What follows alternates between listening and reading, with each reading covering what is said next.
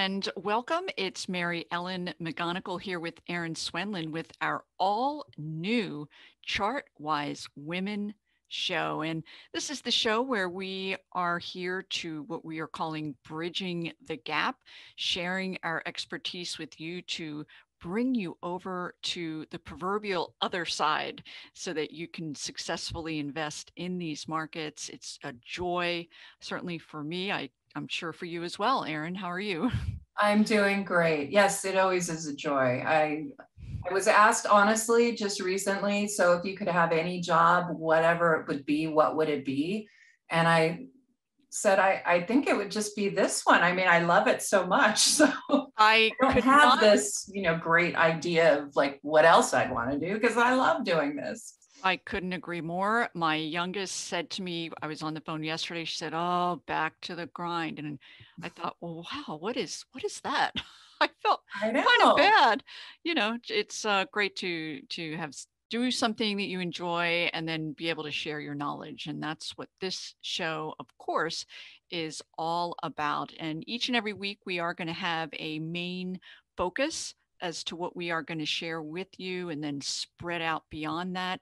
And this week, it's all about money flows and how you can get in front of where that strength is in the markets and it will have some uh, something to do with sector sector rotation is going to be talked about and i will let the cat out of the bag and tell you that the industry group and the sector that your stock is a part of is attributable to almost 50% of your price stocks either appreciation or depreciation. So this topic is super, super important. And we look forward to sharing lots of little tips and tricks and ways that not only can you get in front of those groups that are under accumulation, but then from there, even more critically, is to uncovering that top stock within that strong industry group. So lots of fun, uh, actually very in, helpful information that we'll be sharing with you today. Absolutely. I think it's uh, certainly a tool that needs to be in everybody's tool belt if you're getting ready to invest in the market. I mean, I think everybody knows that it's important to know what the market itself is doing as a foundation, but underlying would be knowing what sectors are leading because that can really tell you a lot also about what's going on in the market. Not only get you ahead of a trade, but also be uh, have a better understanding of where the market might be going and consequently whether you want to be invested or not. You're right. And with that, I am going to very quickly share my screen. And I thought it would be really helpful to start out by taking a look at the broader markets. I'm going to blow this little uh, this screen up a bit here. So we're looking at a daily price chart of the S&P 500 and quickly I wanted to take us back to January and you can see we've had these many periods. Uh, this most recent pullback was the lengthiest, but each and every there were nine pullbacks this year and each time there was a different industry group that emerged and came back into favor. Back here it was all about energy and financials. We did see tech get hit. So it was a year where paying attention to those money flows made all the difference if you are self-directed as an investor. So what I wanted to point out here again is this four to five week pullback and coming out of that this is where this paying attention to the group strength is really going to make a tremendous difference and so for my i'm going to be sharing some of the ways again that you can uncover that and get in front of that strength uh, so that during any next pullback or certainly even during uptrending periods making sure that you're in that right area of the market so that you can outperform I would like to just share uh, really quickly. We we're talking about money flows and the market in general, and you know we have available to us on stock charts the sector rotation, the article on it in Chart School, and there's obviously a ton of information in Chart School on every subject. But I think this is one that really really requires your eyeballs. You really do need to take a look at this so that you can understand it in a, a more general way, but it, even in a more detailed way, which is what we're going to talk to you about today. But I know we both have used this before from the chart school article, and it basically is telling you uh, which sectors, you can see these on top, and when they tend to be the leaders, showing leadership, what it's telling you about the market in general. Now, this is, it does not always fit this particular um, chart, but it does give you kind of the, the general understanding about, you know, we often talk about aggressive sectors or growth sectors. Uh, then we also have, you know, value or defensive sectors. And so you'll see those over here. These are your more defensive areas of the market on this side. Whereas over here, you're going to have your more aggressive moment, uh, sectors.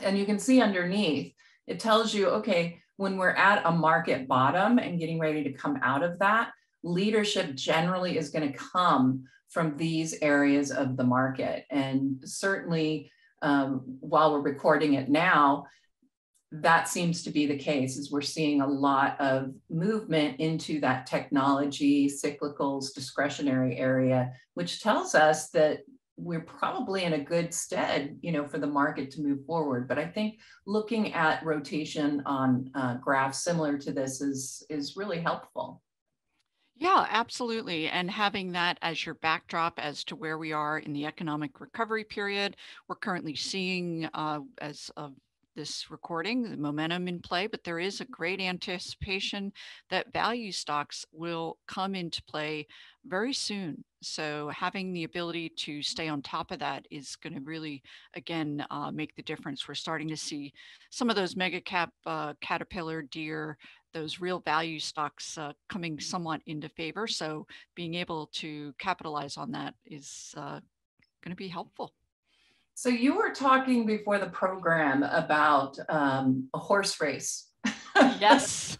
can you can you uh, expand on that? I thought that was such an excellent uh, way to describe sector rotation and how uh, what you do as far as finding and following those money flows. Yeah, absolutely. So what I was talking about is the fact that the S&P 500 is broken down into 11 sectors and if you have that ability, I'll just quickly share my screen here for a moment.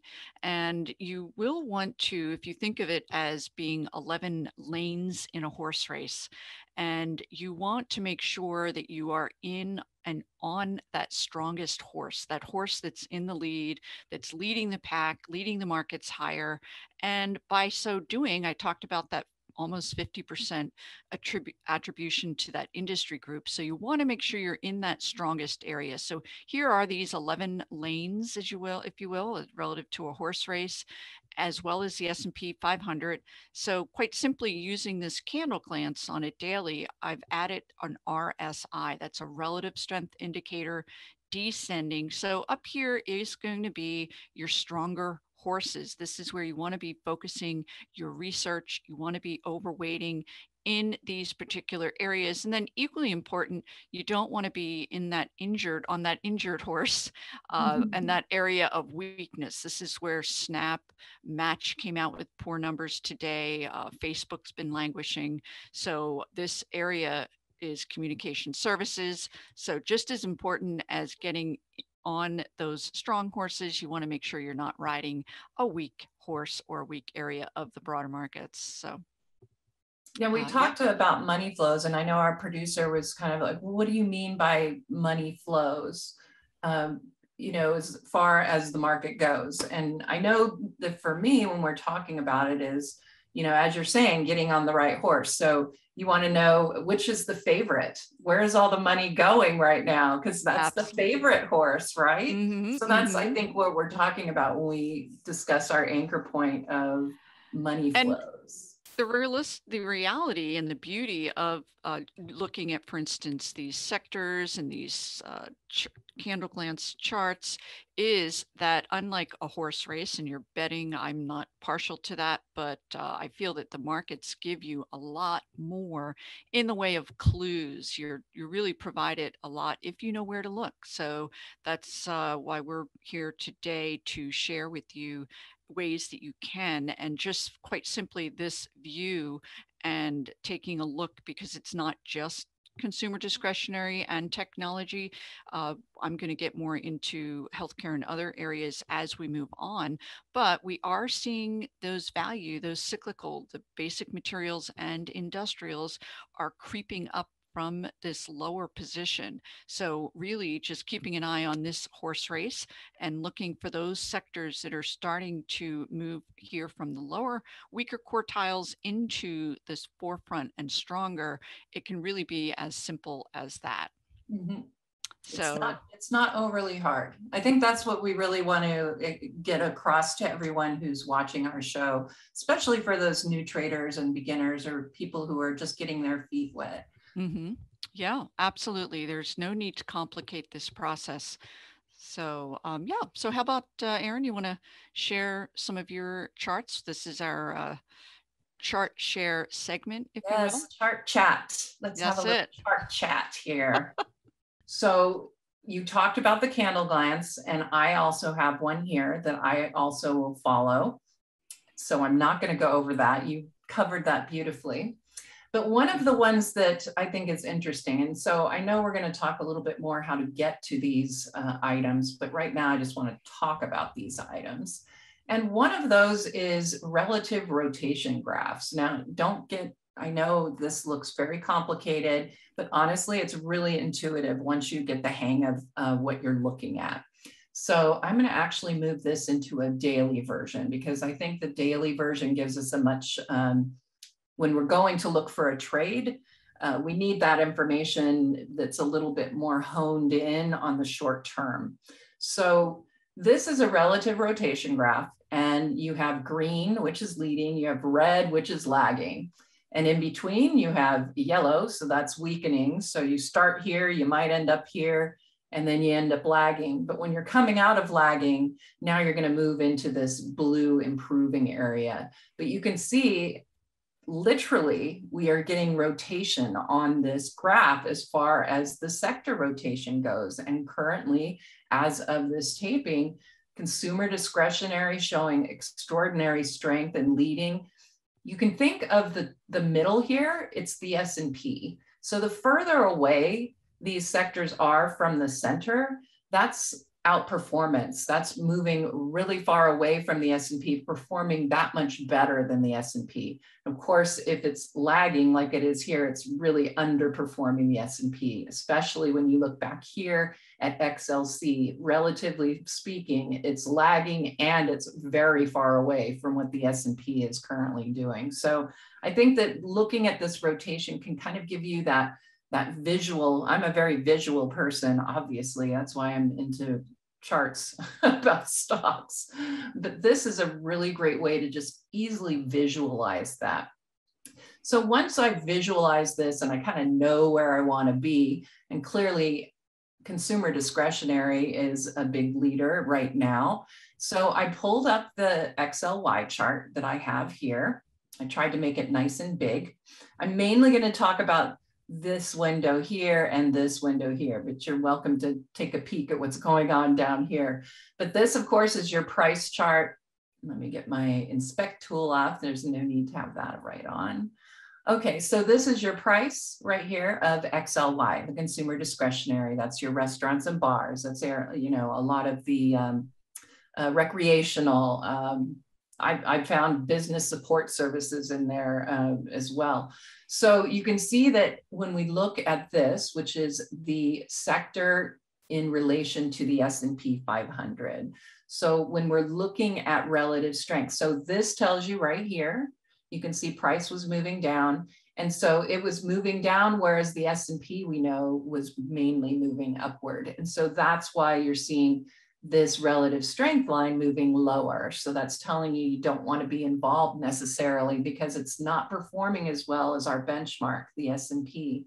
But notice back here, you can see that relative strength against the S&P started to really increase.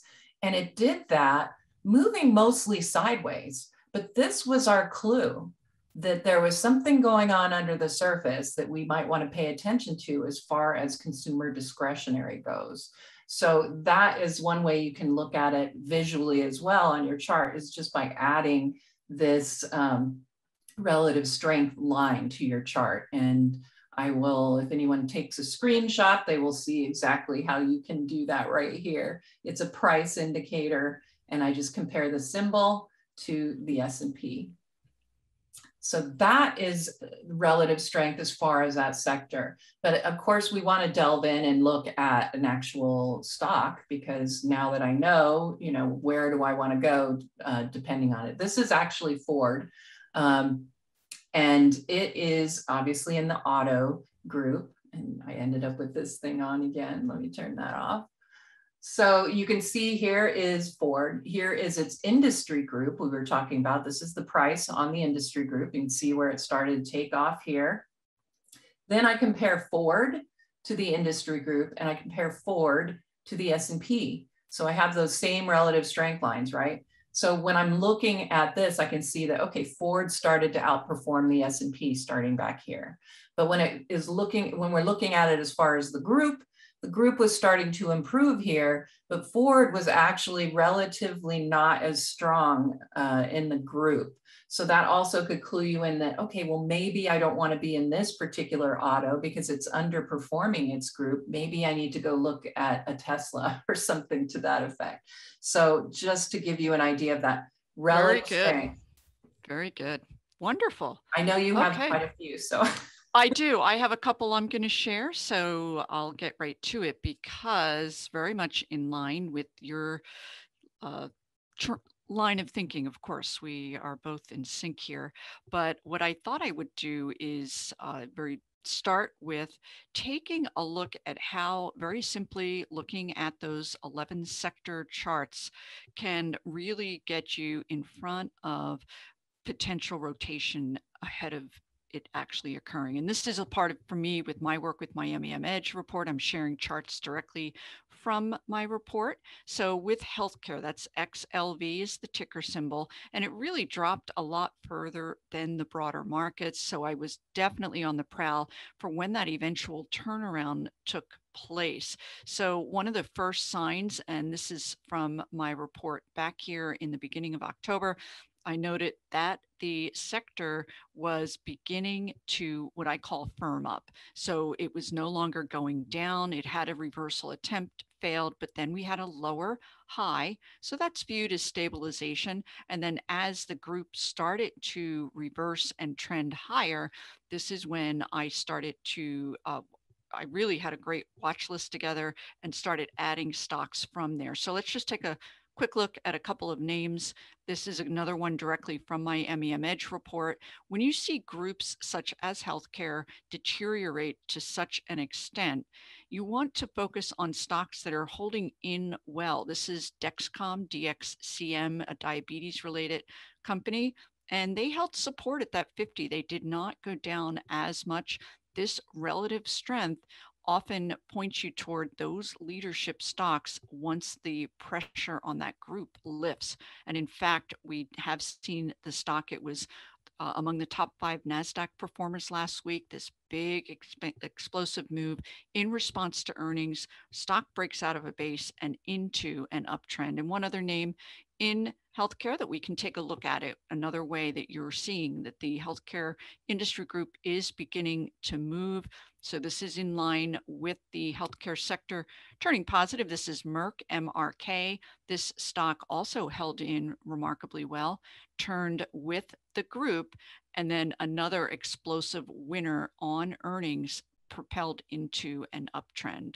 So i can do maybe a couple of other areas that I wanted to share with you because that pullback, and oftentimes pullbacks can be painful, but they can also be very rewarding if you can uh, have a system in place to help you get in front of those groups and those stocks. So this is XLK technology falling in line with the broader markets. But again, I'm wanting to see that reversal that's going to be identified by a break back above that 50 day simple moving average with your outside momentum indicators turning positive. That's going to give me confirmation it's safe to get back into tech.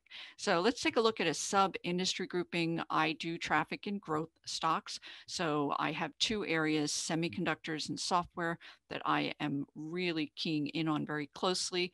And again, this is from my mid-week report back here in October, where I identified that IGV, the software industry group, turned bullish. It turned bullish before the broader markets and also before the technology industry group. So again, this is going to be my leadership area. This is where I'm going to focus my energy to uncover big winning stocks. And in fact, um, Microsoft has gone on. I thought I perhaps had that chart uh, but that did, in fact, go on to be one of the winning names. It's, of course, a heavyweight in technology or in software. So here's a chart of Microsoft, another gap up, huge volume on earnings propelled into a nice uptrend. Earnings, we'll get into this with another show, I'm sure, but is uh, from my work, the primary driver of a stock that gets into an uptrend.